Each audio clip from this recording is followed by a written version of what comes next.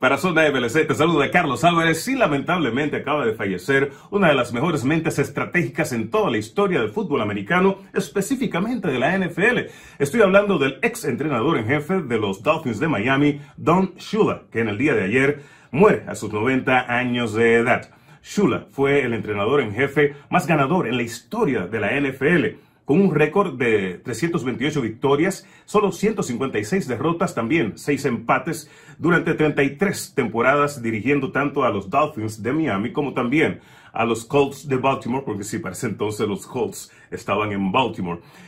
Incluyendo los playoffs, el número de victorias de Shula aumenta a 347. La gran proeza de la carrera de Shula es llevar a los Dolphins a un récord de 17-0 en el 1972, incluyendo ganar el Super Bowl en contra de los Redskins, Redskins de Washington 14 a 7 en ese Super Bowl número 7. Esta es la única temporada invicta en la historia de la NFL. Cuando digo temporada invicta, estoy hablando de la temporada regular, también la postemporada, porque sí, hemos tenido, eh, además de los Dolphins de Miami, tres otros, tres equipos que han llegado a una temporada regular invicta. Estoy hablando de los Patriotas de Nueva Inglaterra, también un par de ocasiones los Bears de Chicago, pero nunca ganaron esos equipos el Super Bowl como lo hizo Don Shula con sus Dolphins de Miami en el 1972.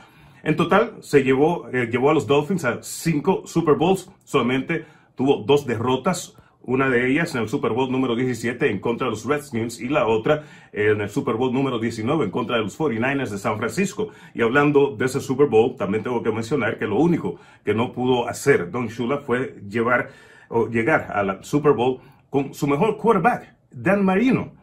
él pudo entrenar o, o, dirigir a Dan Marino en 13 de sus 17 temporadas, pero lamentablemente fue a una ocasión al Super Bowl y en esa ocasión pues perdió en 1985 en ese Super Bowl número 19 en contra de los 49ers de San Francisco.